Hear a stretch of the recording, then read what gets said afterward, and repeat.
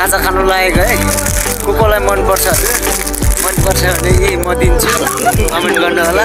Tito आलु हामी चाहिँ यसरी खान्छ यसलाई चाहिँ आलु कप्प है त हजुर।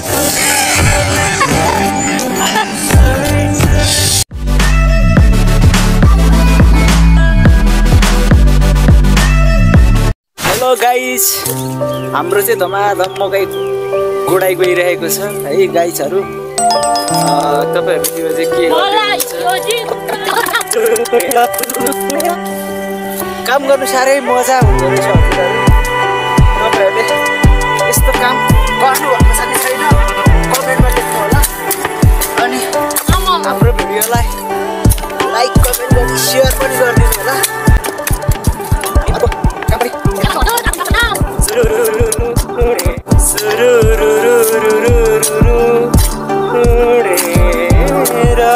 Yeah.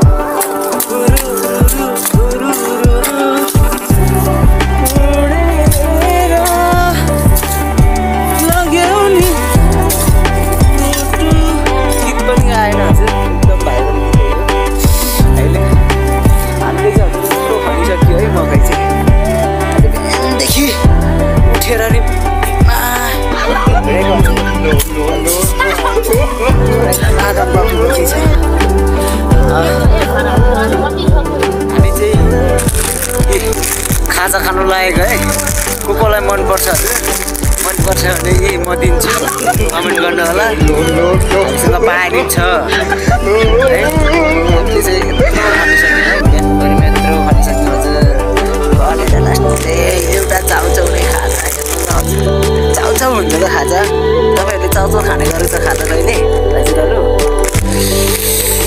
स्याट है यस्तो तरिकाले बसेको छ छ।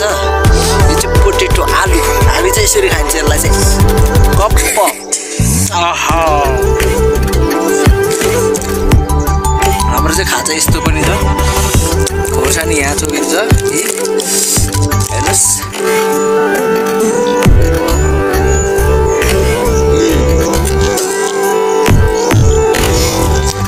अनि यसो गरेर। कप्प खानु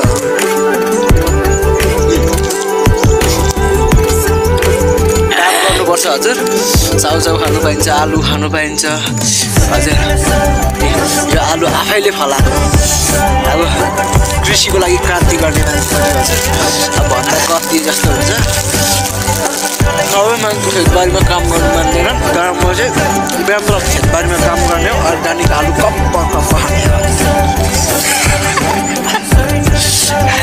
है त हजुर।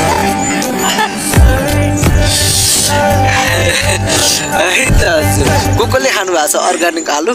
खानु भएको छैन भने सम्पर्क गर्नु होला तपाईँहरूकोतिर चाहिँ कसरी गोड्नुहुन्छ मकै हामी चाहिँ यसरी के गर्नु हजुर पढ्ने बेला खुब बिच्चा खेलियो हजुर साथीहरूसँग। अहिले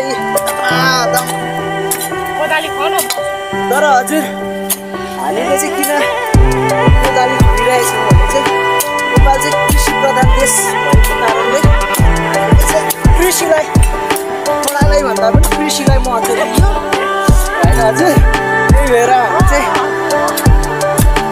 अब नेपालमा त है सबैभन्दा त अब कृषकहरू बढी छ नि त है उत्पादन क्षेत्रमा मान्छेहरू सबै पढ्नु थाले उत्पादन क्षेत्रमा चाहिँ मान्छेहरू कमै मात्र छन् क्या त्यही भएर मैले चाहिँ उत्पादन क्षेत्रमा चाहिँ प्राथमिकता दिएर पढ्नु चाहिँ मैले बिर्सेँ हजुर। त्यही हो होइन? गइरहेको छ। खनाइ तर आफ्नै देशमा यसरी कोदाली देख्नु पाउँदा म चाहिँ एकदम हर्षित छु हजुर।